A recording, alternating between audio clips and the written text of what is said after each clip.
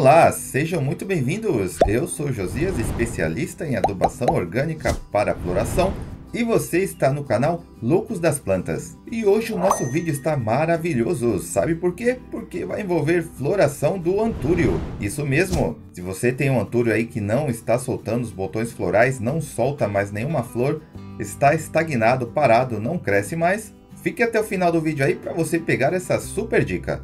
Mas antes, já esmaga no like, compartilhe esse vídeo com o máximo de pessoas possíveis. Se você é novo, chegou agora aqui no canal, se inscreva para não perder nenhuma dica. Então, bora pro vídeo! Então, meu amigo, minha amiga, a dica e a técnica que eu quero passar para vocês hoje é principalmente para você que está começando no ramo da plantação.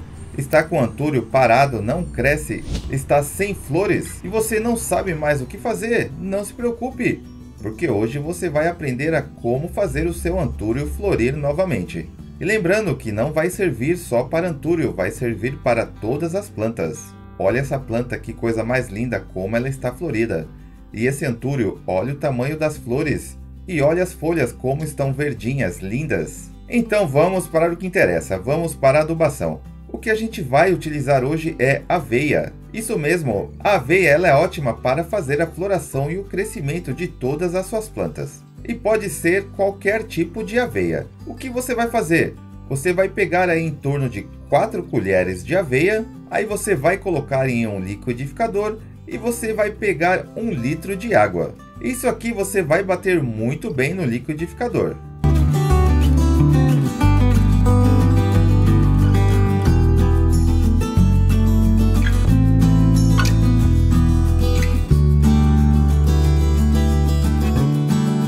Então pronto, depois que nós batemos no liquidificador, vai ficar assim, ó, desse jeito, vai ficar muito lindo. Você já traz um outro recipiente da sua cozinha e você traz uma peneira, porque a gente vai peneirar, justamente para não cair nenhum resíduo aí na sua planta.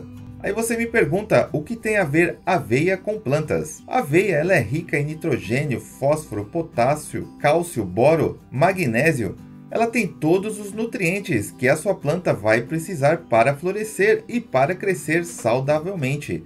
E o melhor, da forma orgânica.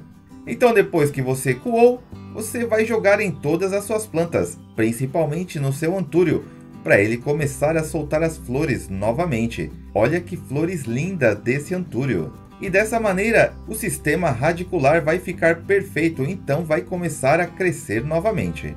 E aí, gostou dessa dica? Então já esmaga no like e compartilha com o máximo de pessoas possível. E não esqueça de deixar a sua inscrição aqui no canal. É o canal Loucos das Plantas, sempre vindo com uma novidade para todas as suas plantas. Então já corre para fazer essa adubação orgânica para todas as suas plantas.